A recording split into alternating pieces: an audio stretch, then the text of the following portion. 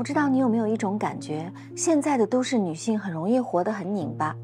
一方面，独立女性成了趋势；另一方面呢，女性在成长过程当中仍然会受到很多的规训，这导致很多女性活得很割裂，两边都靠不上，觉得自己很失败。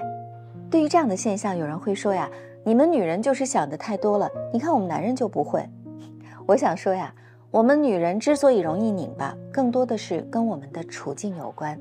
身为女性，该怎么样透彻地了解自己？女性如何自处才能过好这一生？女性的自我成长起码要跨过的三个陷阱，你知道都是什么吗？你好，我是清音，欢迎回到我的频道。我是一名家庭治疗学派的心理咨询师，也是一位出版了八本书的心理学作家。在这期节目的最后，有免费赠送给你的心理学课程，在你心情糟糕的时候，希望能够帮到你。欢迎你跟我链接。节目最后呢，还有我们上一期获奖观众的名单。好，今天我们来聊一聊女性成长的话题。人本主义心理学大师罗杰斯曾经说过：“你一生中唯一能做的事情就是成为你自己。”但是啊，我们说很多女性其实很难做到。从我们女性群体的成长角度来看，我们会面临以下三个心理困境。第一就是懂事听话，被家庭社会化束缚的女性。大多数的女孩子在成长过程当中都会被要求你要听话要懂事，那么女孩这方面的处境要比男孩严格多了。我想很多人小的时候都听过这样的言论：什么女孩子嘛还是乖一点好，你们女生啊不如男生那么聪明，不用对自己要求那么高。乍一听啊，这似乎是对女性的照顾。但是仔细琢磨，就会发现它是裹着糖衣炮弹的陷阱，需要用女性听话来换取，换取什么呢？换取别人对我们的关注。我们说呀，孩子可不是天生就乖的。发展心理学认为，孩子三岁前有一个很重要的课题，叫做勇敢地探索外界，寻求自我。如果父母能够提供合适的环境，让孩子自由地探索。孩子的天性就能得到被接纳，发展出真正的自我。但是很多情况下，父母是无法接受孩子的自由的，尤其是女孩子，因为一个不那么乖巧、听话、懂事儿的女孩会引起家人的担忧。迪士尼去年上映了一部动画片，叫《青春变形记》，讲述了华裔女孩美美的成长故事，引起了很多的共鸣。美美从小乖巧懂事，是典型的别人家的孩子。但是，一切因为一次涂鸦彻底改变了。美美在做作业的时候啊，随手画了一个小男孩，看上去有点像便利店的小哥。妈妈发现后，直接拿着涂鸦跟小哥对峙，被店员和美美的同学围观。美美觉得很愧疚，认为她辜负了妈妈的期望，惹得妈妈生气了。第二天，美美发现自己变成了一只红色的小熊猫，妈妈告诉她。变成小熊猫是家族女性的必经之路，化解方式呢，就是把心中的任性的野兽封印起来，才能乖乖长大，嫁人生子。美美本来打算听从妈妈的话，但是她突然发现变成小熊猫才是她最快乐和最自由的时候。美美最终接纳了小熊猫和任性的自己友好的相处。导演接受采访时说：“红色的小熊猫其实每个人都有，它就是自我的一面。”面对自我，不是压抑或推开外界评判不好的部分，而是要学会和完整的他共存。女性困境的第二点，被婚恋和生育绑架，被社会审判。波伏娃在《第二性》当中说：“其实我们的性别是被教出来的。女性在成长过程中会被赋予很多的标签，在社会标准之下，有了适婚年龄和最佳生育年龄。”那么，一旦某个阶段没有跟上，就会受到来自社会各处的审判。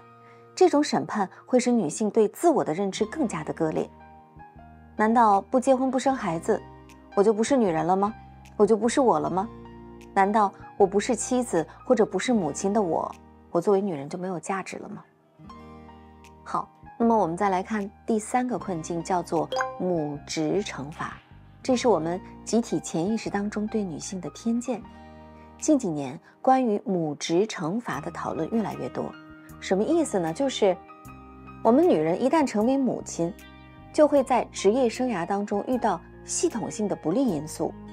比如说吧，很多女性在怀孕期间就会被调离重要的岗位，甚至在休产假的时候就会丢工作。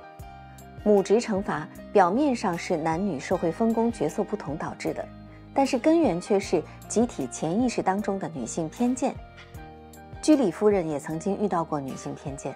她虽然是历史上第一位女性诺贝尔奖获得者，但是第一次提名的时候，她根本没有看见自己的名字，因为评委觉得她只是一个家庭主妇，不可能做出卓越的科研成果。那为什么我们女性就不能拿奖呢？是因为我们的智商更低吗？当然不是。这些偏见和困境概括起来就是同一个东西，就是我们女性的自我被压抑了。处于一个客体的位置，被别人审判，被别人评价，甚至被别人批评。那在这期节目当中，我们需要接下来来思考一下，我们女性如何活出自己的价值。就像荣格所说的，每个人都有两个人生，头一个人生是由成长环境决定的，它是我们人生的底色；第二个人生则是我们后天选择的。它是我们希望活出的人生的状态，所以啊，如果你觉察到自我也曾经被压抑，不要太自责，我们可以从此去改变，重新养育自我，发现自己的优势，并挖掘活出自己的价值。那么回归到自身，我们能做一些什么呢？也许啊，我们可以从卡塔琳·卡里科身上学到一些东西。卡里科是谁呢？她是今年诺贝尔奖的女性获得者，荣获的是诺贝尔生理学或医学奖。她呀，坐了四十年的冷板凳，多次失去工作，甚至受到了驱逐出境的威胁。甚至可以这样说，她的履历当中写满了失败，除了2023年的诺贝尔奖。但就是在这样的背景之下，她仍然在65岁大获成功。那么，她身上有哪些可以跟我们普通的女性学习和借鉴的呢？首先啊，就是不给自己设限。女性没有我们该有什么样子。卡里科出生于匈牙利一个只有一万人的小镇，他的父亲是一个屠夫，母亲是一个会计员。卡里科的科学启蒙课就是父亲每天宰杀的猪。父母希望他将来也能成为会计员，哪怕是屠夫也行。但是卡里科在十六岁写给老师的信里说：“我要成为一名科学家。”作为普通家庭的农村孩子，卡里科一生都在为这个目标努力，考上了匈牙利著名的大学塞格德大学，取得了博士学位，并且结婚生子。我们女性并没有应该活成的样子，所以啊，不要给自己设限，才能将生命的极大的能量释放出来。第二点呢，就是不要自我否定。你看啊，做长期主义者的卡里科，他就是这样。他的研究方向很超前。上大学之后，他就把自己的研究项目标定为 mRNA，这是一种在1961年发现于加州理工大学实验室的基因中介。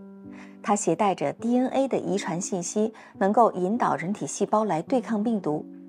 理论上来说啊。如果能够操纵制造 mRNA，就能研制出一切的疫苗，让更多的人脱离病痛。可是难点在于呢，mRNA 很难在人体免疫系统下存活，因此呢，即使 mRNA 被科学界认为有巨大的价值，许多科学家都会停止研究。但是卡里科坚持下来了，并且他为此付出了巨大的代价。因为前面我们说了，在长达四十年的时间里啊，卡里科多次失业、被解雇、降职减薪、被学校要求换研究方向，这其中的辛酸和艰难，估计很多人根本就承受不住。那么，一连串的失败并没有使卡里科一蹶不振，他践行长期主义者理论，就是不否定自己，也不停止脚步，最终迎来了成功。那后来的事情大家都知道了。二零二零年全球疫情爆发，新冠疫苗就是基于卡里科的研究才被研发出来，拯救了很多人的生命。未来呢，还可以用来治疗和预防其他许多领域的多种疾病。所以说，任何事情的完成都离不开坚持，长期主义才是成功者的朋友。我们需要向他学习的第三点就是敢于追求内心所爱，活在热爱里。我们看到卡里科各个时期的照片，几乎都在笑啊。即便是坐冷板凳的那几十年，他的脸上也完全看不到失败，他在享受着内心热爱的事情。他的人生态度也激励着他的女儿苏珊。苏珊呢是赛艇运动员，两届奥运会金牌得主。所以呢，我也经常跟我的学员说呀，母亲对孩子最好的教育就是榜样。孩子在某种程度上是父母的复印件，复印的就是父母的人生态度：坚持。热爱和不设限，卡里科把三个最好的基因都传递给了女儿，是女儿的人生榜样。经常有人问我说：“基因姐，你觉得女性成长最重要的是什么呢？”我认为啊，女性成长不是脸谱化的追求成功，而是无论在什么样的年纪，处于什么样的身份，都能够勇敢地追求自我，活出自己想要的样子。你可以结婚，也可以不结婚。可以是追求事业的女强人，也可以是岁月静好的好妻子。关键在于你不是按照某种社会标准而活，而是我喜欢，我想要。希望我们每一个女人都能够突破他人的定义和评价，把自我好好的活出来。好了，这期节目就是这样。如果有什么想说的，欢迎你在评论区给我留言。我每期呢都会精选两位朋友送出价值一百美金的心理学课程，上一期的获奖名单已经公布在了屏幕上，欢迎关注和收藏我的频道，你的关注就是我做好节目的动力，我会继续为你带来心理学的分享，帮助高敏感的你活出精彩人生。我是清音，我们下期再见。